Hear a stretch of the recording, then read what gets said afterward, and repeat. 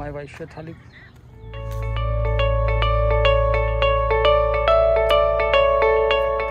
I think वो लोग कुछ नहीं करते नॉर्मल बातें करते।